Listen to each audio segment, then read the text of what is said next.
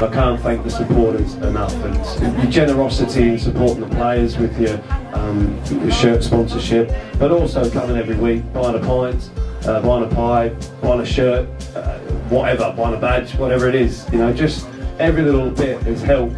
Enjoy your summer. See you awesome.